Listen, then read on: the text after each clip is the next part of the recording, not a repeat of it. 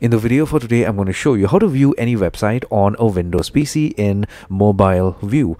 I'm going to show you how to view the web page in landscape mode or portrait mode and few other things are going to be explained to you in the video for today. Watch my video completely till the end.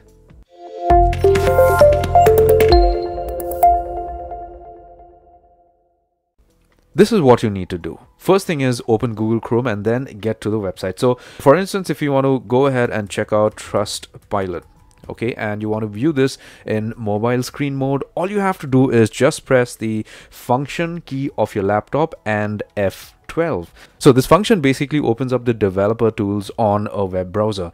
To the left you could see that you could view this website in mobile mode right here on your screen. You don't have to go to your mobile phone or your smartphone at all. You could view it out here. And the interesting part is that you could actually use the screen out here to surf on the website.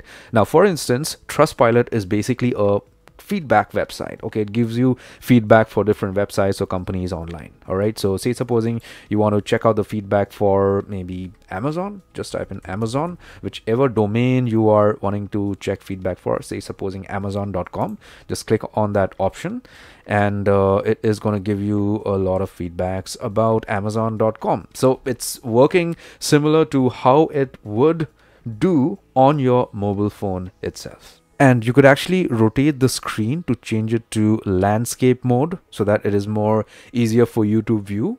Or you could turn it back to portrait mode whatever you are wanting.